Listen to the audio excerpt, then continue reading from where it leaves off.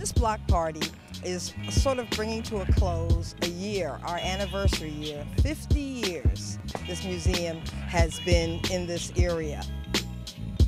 I think we have a jewel in the Smithsonian, to be honest with you. Um, there's not many places you can go in the world where you can get an experience of a variety of different cultures, you know, for free. I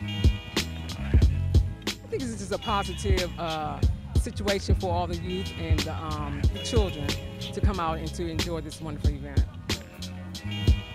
It's important to do outreach. It's important for children to have a place to go to feel like they uh, can look up to people and have people around them and people that uh, care about them. It brings out the community and shows unity within the community in a positive light. My name is Danielle Mitchell and I'm with WHUT in the community.